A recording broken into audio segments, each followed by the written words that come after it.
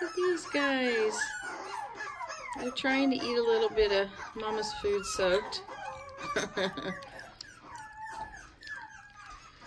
can hear the peanut gallery in the background. That's Lucy's puppies. They're out playing, but they want attention now. So we're ignoring them. Oh, listen to the baby howls in the background. You guys enjoying your breakfast? Yum, yum, yum.